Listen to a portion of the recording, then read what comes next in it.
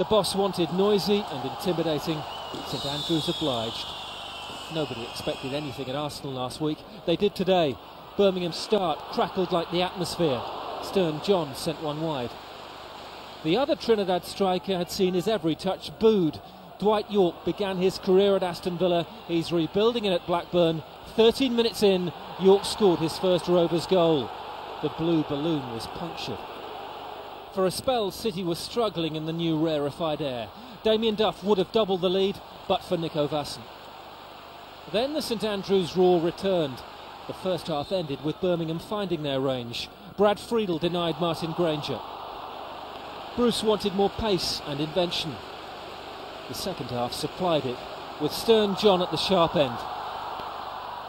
Yet the harder he tried, the more frustrated he became.